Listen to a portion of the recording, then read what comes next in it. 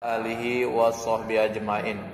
Rabbi syrah li sadri wa yassir li amri wa hlul uqdatam min lisani yafqahu qawli. Subhanaka la ilma lana illa ma'alamtana innaka antal alimul hakim. Alhamdulillah kita galonyo sehat. Dan mudah-mudahan doa-doa kita dikabulkan Allah. Doa doa jemutua kita dikabulkan Allah. Doa-doa anak-anak kita dikabulkan Allah galon mudah-mudahan kita ngaji ini diberi hidayah petunjuk Al-Quran. Mudah-mudahan hati kita di petunjuk oleh Allah sehingga kita paham ayat-ayat Allah. Kita kinai surat 2 Al-Baqarah ayat 264 264 A'udzu billahi minasy syaithanir rajim بسم الله الرحمن الرحيم. يا أيها الذين آمنوا لا تبطلوا صدقاتكم بالمن والأذى. كالذي ينفق ماله رئاء الناس ولا يؤمن بالله واليوم الآخر. فمثله كمثل صفوان عليه تراب فأصابه وابل فتركه صلدا لا يقدرون على شيء مما كسبوا والله لا يهدي القوم الكافرين Jadi di dalam surat 2 Al-Baqarah ayat 264 ini Allah nunjuk tahu ngagi kita nula beguyur ilu istilah galah berbagi ngejemu. Wahai yang beriman jangan kamu merusak sedekah dengan menyebut-nyebut. Ternyata sedekah bukan sedekah mapak anak nih sedekah nu kita nyukan galak nolong jemu itu. Sedekah namanya infak sedekah atau zakat itu pacak rusak dia bukan rusak barang oh mungkin kalau barang oh nedor pahalonya rusak di hadapan Allah. Kenapa sangat rusak? Karena dia menyebut-nyebutnya. Lo manusia nyebut-nyebut tuh mungkin sedekah oh lalamu lah tahun kemari. Cuman masih disebut-sebut cengkak sampai ma ini. Ay dia ru menedok tolong dulu nedok ay kabanu menedok tolong menedok nah ini nah apa tangan ini nih nolong abang? Pokok bila ketemu lagi nu dia pernah ditolong lah dia disebut-sebut terus. Sampai anak cucumu. Disebut-sebut. Nah itu pahalonya rusak. Rusak dia. Rusak pahalonya harus so pahalonya besar sedekah ini. Karena disebut-sebut terus jadi rusak. Kati pahalonya oke karena di surat ayat sebelumnya ini kan 264, 261, 262 pahalanya besar. Sampai impak sedekah ini dilipat gandakan 700 kali lipat balasan. Cuman kalau disebut-sebut sampai anak cucung masih disebut-sebut, jemonyo bela mate pulau masih disebut-sebut, rusak impak sedekah. Pahalanya rusak di hadapan Allah. Itu pertama disebut-sebut dia merusak nih. No kedua menyakiti perasaan penerima.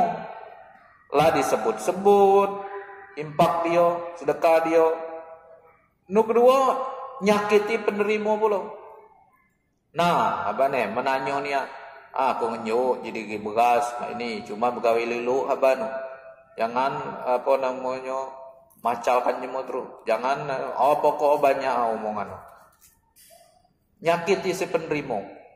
Nah, jadi gawat miskin ngabane. Ah, banyak ceritanya.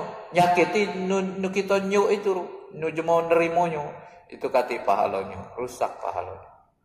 Jadi setiap orang yang menginfakkan hartanya karena ria itu ibarat karena ria.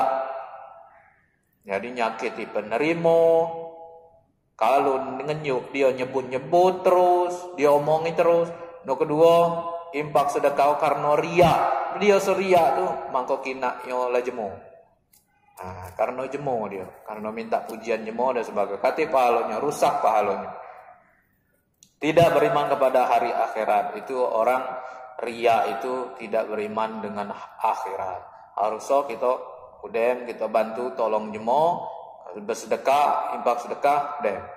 Kapan perlu kita ucapkan mohon maaf kami pacak nolong ini. Mohon maaf kami pacak mainia, pacak mantu.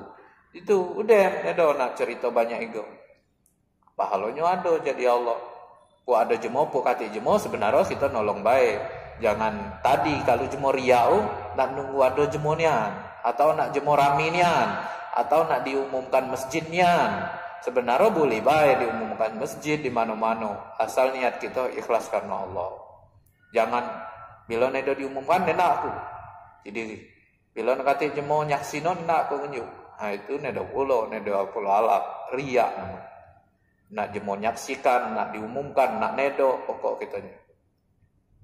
Seperti perumpamaannya nu impak sedekah rusak palonya tadi ibarato. Nah Quran ini baca dia.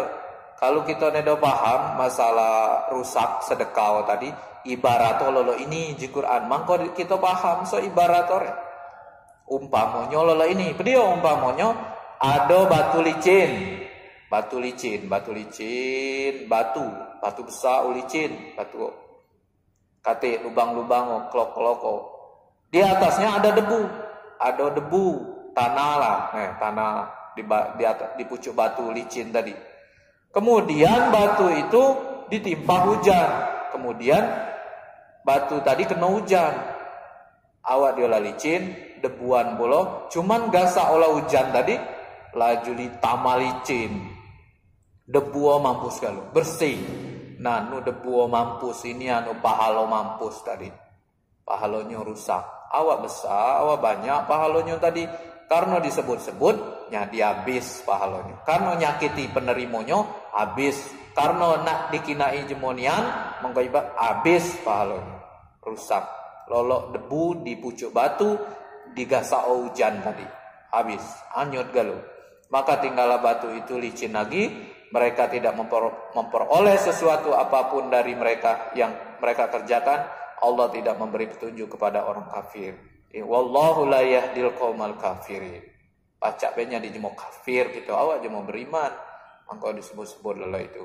Jadi jangan sampai kita bersedekah sedekah lelo itu kan kembali kepada diri kita. Allah balas balasan 700 kali lipat balik ke diri kita. Nedo payah disebut. Cukup Allah yang tahu. Cukup Allah yang keluar. Yang balas impak sedekah kita. Terima kasih. Mohon maaf. Assalamualaikum warahmatullahi wabarakatuh.